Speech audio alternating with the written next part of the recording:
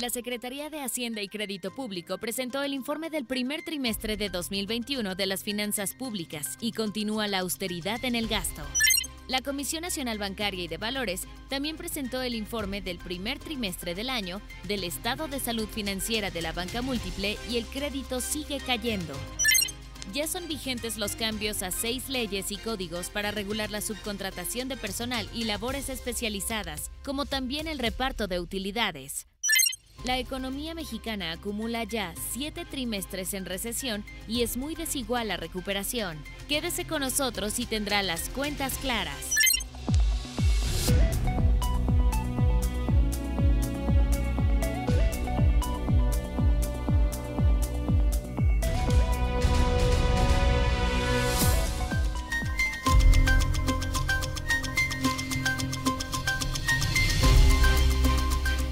Tardes, soy Raimundo Tenorio y me da mucho gusto darle la bienvenida a Cuentas Claras, un programa diseñado pensando en usted y enterarle de lo que acontece en el mundo de la economía y las finanzas, pero sobre todo para contribuir a que usted tenga cuentas claras con información útil para su vida cotidiana.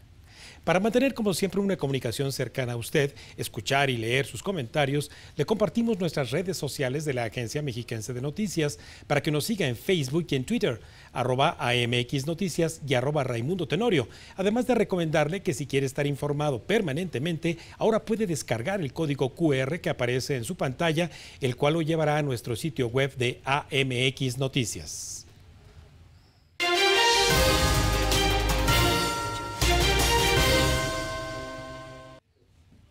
Bien, mire, en el primer trimestre del año los ingresos presupuestarios se vieron favorecidos ante el incremento que tuvieron los recursos que se obtienen por el petróleo, de acuerdo con datos divulgados por la propia Secretaría de Hacienda y Crédito Público el pasado jueves.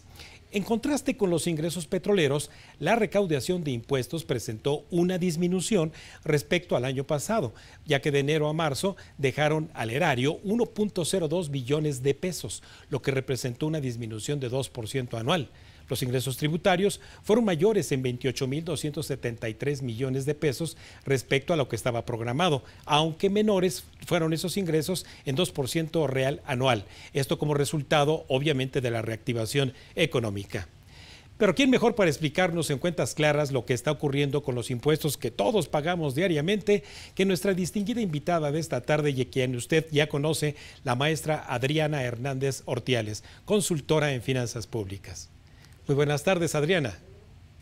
Hola, doctor. Un gusto estar contigo y con tu auditorio. Como siempre, para nosotros también, el que nos destines parte de tu tiempo. Y bueno, pues de entrada, preguntarte cómo le fue a la hacienda pública con los impuestos que pagamos en el primer trimestre. Bien, pues vamos a ver quiénes fueron los ganadores y los perdedores en este trimestre. Como ya sabemos, la Secretaría de Energía tenía un presupuesto aprobado para todo el año de 47 mil millones de pesos, pero tan solo en tres meses ya se gastó no solo los 47 mil, sino 20 mil más. Lleva un gasto ejercido de 64 mil millones de pesos y todo directito a dos bocas. En segundo lugar, tenemos a turismo. Turismo tiene un incremento en su, en su gasto de 8 mil millones de pesos más a lo que tenía programado para gastar durante el primer trimestre. El primer trimestre. Y en cambio, el Felipe Ángeles disminuyó el ritmo con el que había avanzado, pues ya que bajó a, iba a gastar alrededor de 10 mil millones durante ese primer trimestre y gastó solo 2 mil. Estamos viendo un reacomodo de prioridades que tal vez el ejército está siendo enviado a la prioridad que ahora es el tren Maya. Lamentablemente en salud tenemos una disminución de, recursos de alrededor de 10 mil millones menos que el trimestre del año anterior y también tenemos un subejercicio, sobre todo en la parte de medicamentos. Es decir, hay recursos suficiente para la compra de medicamentos de cualquier enfermedad para la que eh, requieran los derechohabientes, pero las compras no se están realizando en tiempo. Por lo tanto, en el primer trimestre tienen un subejercicio de alrededor de 5 mil millones de pesos. Hasta ahí, ganadores y perdedores en este bombardeo evidentemente de cifras que nos da y que nos da obviamente un contexto muy adecuado en salud, en infraestructura, etcétera, yo considero que quienes nos están escuchando, Adriana, no podrían estar en, contra de que se ahorre en dispendios, en gastos superfluos, eh, que obviamente como lo cacarea todas las mañanas Andrés Manuel, pues se ahorre dinero en esos gastos excesivos. Pero esta austeridad, que vemos en los números que nos acabas de compartir, eh, cómo está pegando en el estado de bienestar, sobre todo de las personas que están recibiendo, si bien es cierto, esos apoyos eh, de los, los programas sociales, pero en la vida cotidiana. Así es, vamos a ver ahora por el lado de en qué se gasta. Por ejemplo, los subsidios, aquellos recursos que llegan directamente a la población a través de pensiones, ayudas, como su nombre lo dice, subsidios. Eh, aquí vemos que la pensión para adultos mayores tuvo un, eh, un retraso en la administración, tiene un retraso de 500 millones de pesos. Las el, el, recurso que se da para las madres trabajadoras, lo que antes conocíamos como las guarderías o estancias infantiles, no se pagó un solo peso. Estaban destinados 14 millones de pesos. La pensión para, la, para personas con alguna discapacidad solo se pagó el 30% de lo que se tenía planeado. Ninguna jefa de familia cobró un seguro y solo 96 mil pesos, ojo, de 53 millones que se tenían destinados para Sembrando Vida fue lo que se gastó. Es decir, el 0.2% del programa una vez más está habiendo una lentitud en la dispersión de recursos, a pesar de que han creado nuevos programas y que ahí se está yendo eh, casi, eh, más bien la, totalidad de los, eh, los, impuestos no están siendo distribuidos a la velocidad y como lo tenían planeado. Si lo vemos por el lado operativo, estamos viendo que los autónomos tienen un menor ejercicio del gasto, sobre todo en el tema legislativo y judicial, que podría ser por esta nueva modalidad desde casa y que ha ahorrado recursos en el ejercicio de sus actividades. En cambio, eh, los ramos administrativos, donde está la Secretaría del Bienestar, donde está la Secretaría de Agricultura o la Secretaría de Educación, como bien se los dije, traen una disminución en lo programado para este trimestre, a excepción de la SEP, que ese sí ejerció alrededor de 4 mil millones más a lo que había planeado. En el aspecto de las empresas eh, productivas del Estado, es decir, Pemex y CFE, CFE tiene un gasto adicional a lo presupuestado en 47 mil millones de pesos. ¿Por qué? pues ya sabemos que los últimos meses tuvimos una, un aumento del precio del gas natural, el cual se utiliza para las plantas que generan la electricidad. Aquí lo triste es en el IMSS y el ISTE. El IMSS, todo, todo el, instituto está recortado. Hay un recorte en la actividad operativa, como ya lo dije hace rato, en el tema de medicamentos, en el tema de servicios a sus derechohabientes, todo está recortado. El ISTE eh, tiene un ajuste de 15 mil millones de pesos en el suministro de medicamentos. Es decir, solamente pagaron 153 millones de 5 mil millones de lo que iban a pagar. O sea, es el 1% de lo que tenían estimado. Esto es trágico para las personas que hoy están en espera de un medicamento que muchas veces es causa de vida o muerte. Ahora, si lo vemos en el tema de inversión física y si aislamos el tema de la refinería Dos Bocas, que como les dije, ya gastó más incluso de aquello que tenía presupuestado para todo el año. Si aislamos un poco a, dos bocas, tendríamos que la inversión física se cayó en el primer trimestre 28 mil millones de pesos respecto a lo programado. A diferencia de turismo, donde está el Tren Maya y el aeropuerto Felipe Ángeles, que tienen ciertas, eh, tienen crecimiento ah, respecto a lo presupuestado, Todas las demás áreas están cayendo. IMSEISTE igualmente está recortado en su tema de infraestructura.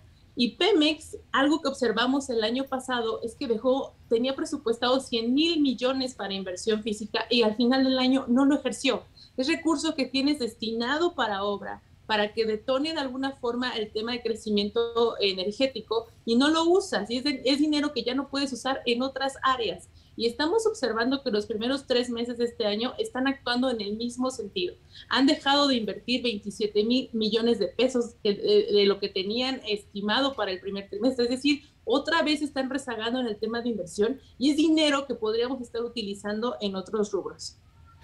Adriana, eh, en el escrutinio, en la lectura muy a detalle que haces tú de las finanzas públicas, eh, nos, nos, enteramos que hay una disminución en el gasto federalizado, lo que les llega a las entidades federativas y a los municipios, ahí donde vive toda la cantidad de personas que te están escuchando. ¿Cómo es posible entonces escuchar que en el primer trimestre llegan más ingresos petroleros y que de ahí deben de regresarse parte de ellos a las entidades federativas y municipios? Y vemos cifras en lo que nos compartes en tu cuenta de Twitter que estos recursos a las entidades y a los municipios van a la baja.